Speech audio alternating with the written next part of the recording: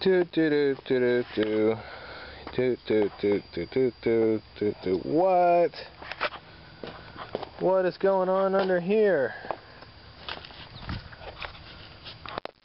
Am I leaking oil all over the place? Do I have an oil leak? Well, no. Actually, what's going on is not that I'm leaking oil, so I'm not going to spend any time searching for an oil leak that doesn't happen, or that doesn't happen to be there. What I have is a problem with my petcock. This is the petcock right here. It's the valve that uh, releases the gas from the gas tank into your carburetors. And when they get old, they will tend to leak a little bit through the hose when they're not supposed to.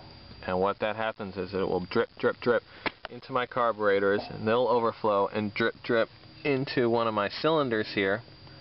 And uh, that is going to filter down through my rings and into my uh, my crank down here and into the sump where the oil is kept.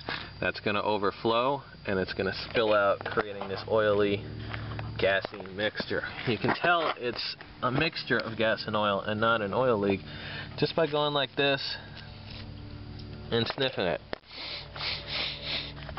Yeah, definitely gassy.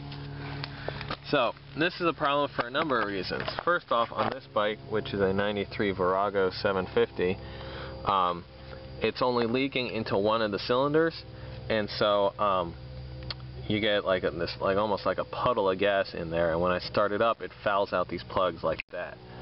Um, so I'll get one plug that uh, that fouls out pretty regularly. Uh, another problem is it will actually dilute my oil and make it really thin, and so um, my oil won't uh, won't lubricate the cylinders and the pistons like it should and uh, that can wear out my engine really really quick. And so what I gotta do is I gotta fix this. Now this is a vacuum actuated petcock which means that vacuum comes from this little hose right here opens this valve and lets the fuel in. And uh, in theory it's only supposed to do that when uh, vacuum is being supplied by the engine um, therefore gas is only flowing when the engine is running except if it's in prime but right now it's in on and it's still flowing and that's where the problem cause. Uh, that's where the problem comes from. It should be closed. So what you could do to fix this is buy a uh, petcock rebuild kit, but I don't want to do that. And so this video is going to be about how to restore your uh, petcock without buying a rebuild kit. So let's see what we can do. First thing we're going to do is we're going to take off the seat and take off the tank. Now with the tank off, you can see it doing a little drip, drip, drip every now and again. And it doesn't look like much, but that's definitely enough to fill up your uh, your your crank with uh, with gas and to cause this kind of problem, especially if you leave it overnight. And uh, this petcock doesn't even have an off setting, like some older ones do.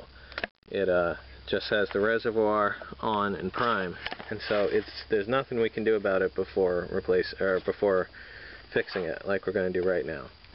So first thing we're going to do is turn it over and take it off the tank. Um, and it's got these two screws here. We're going to take it off.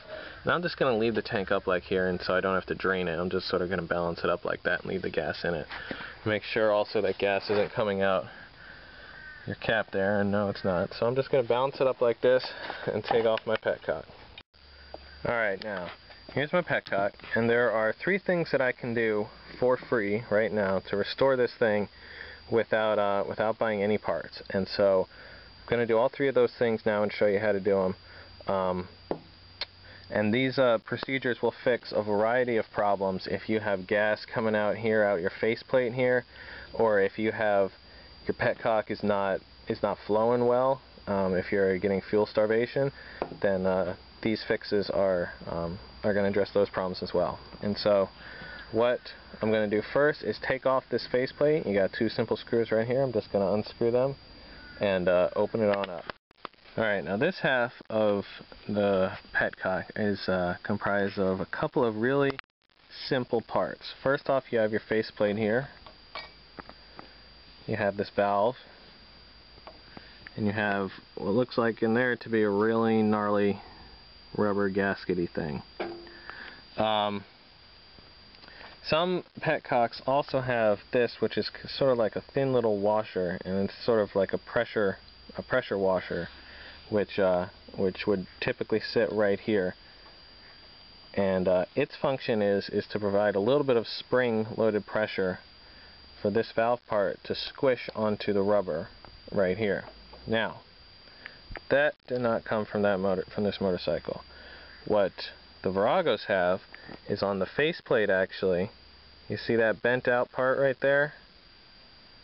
That provides the pressure. And so what I actually already did was I pushed these um, these sort of tangs right here.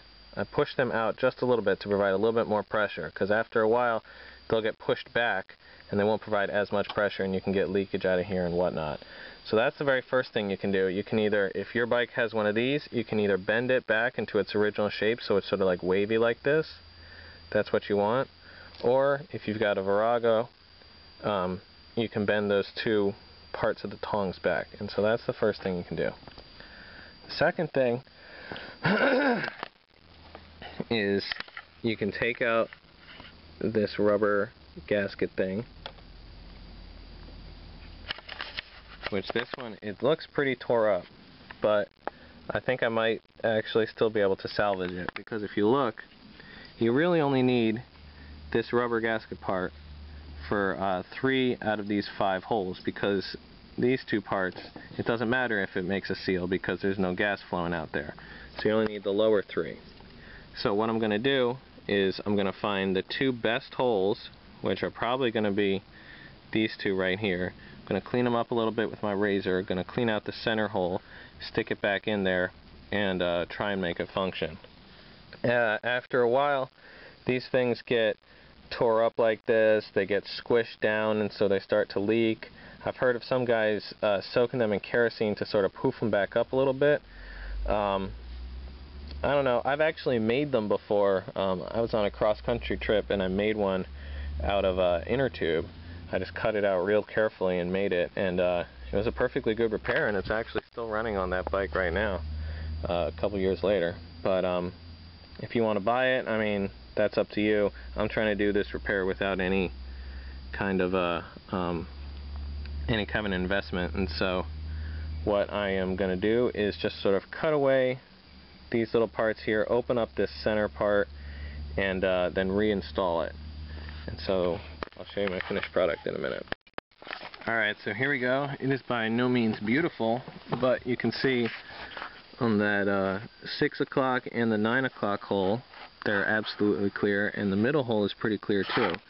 And so with the extra pressure from this pressure plate, pushing this uh, this valve, this dial valve or whatever it is, down onto here. Hopefully it's going to make a good seal. And so that's the second thing you can do to revitalize your petcock.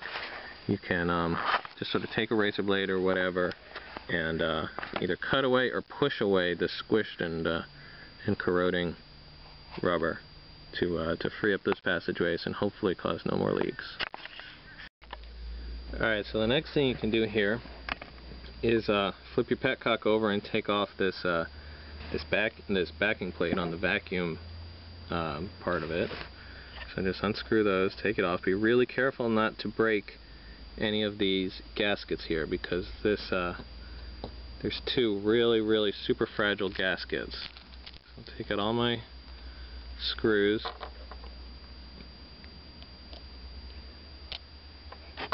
And this is how this works.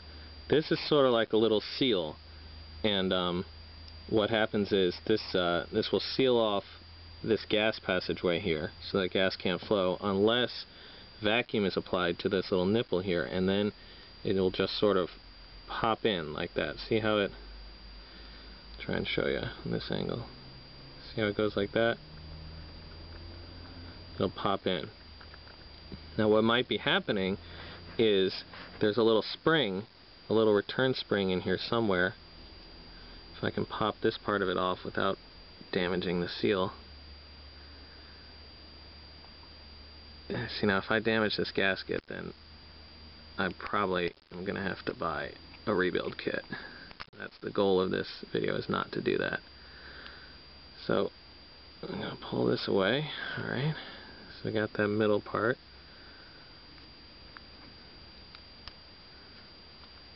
And that's away. Now I gotta unseal this right here.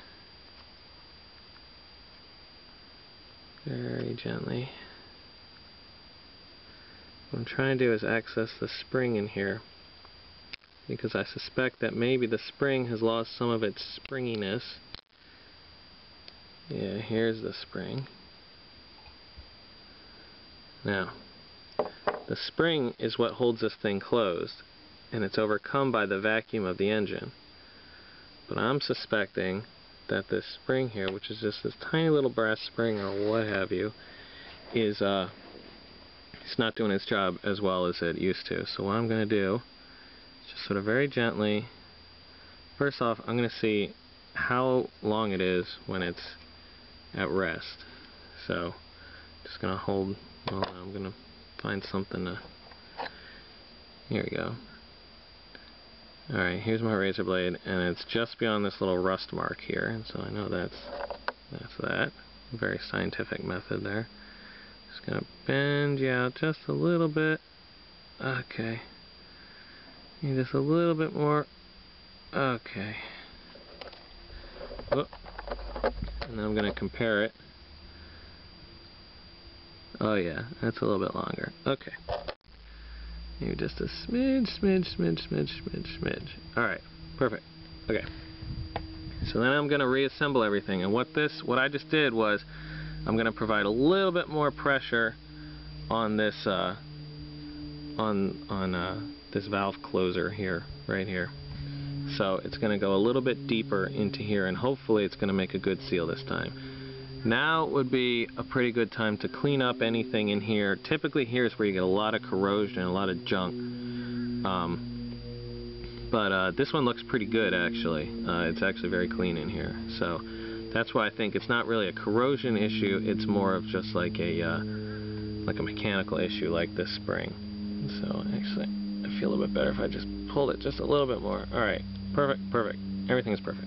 Alright, so now I'm going to reassemble everything.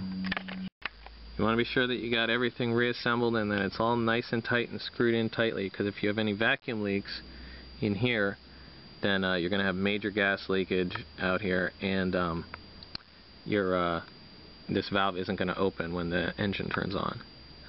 So it's going to be a big problem. So just be sure you take real good care of those thin little gaskets in there and uh, you screw everything down properly.